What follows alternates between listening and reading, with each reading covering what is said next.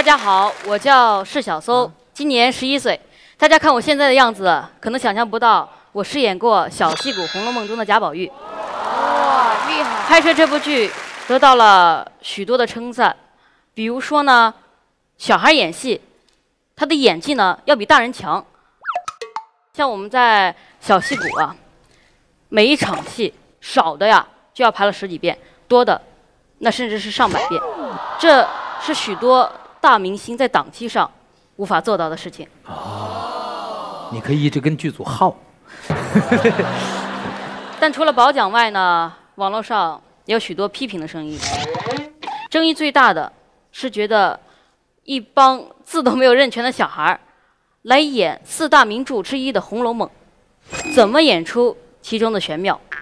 没错，我现在呢也是上小学，小学六年级，对原著的理解也没有那么深。但四大名著需要的文化底蕴那么深厚，连大学生都不敢说自己能完全读懂。然后那些说我们字都没有认全的那些人们，那你们又有多少人看完了《红楼梦》这本书？又有多少人对《红楼梦》这本书有了真正的了解？弟子回去。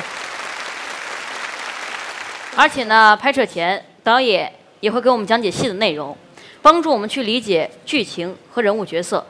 还有很重要的一点，原著《红楼梦》中贾宝玉、林黛玉、薛宝钗，他们三个的年纪与我们的差不多相仿。像撒贝宁老师这个年纪呢，也只能反串一下刘姥姥了。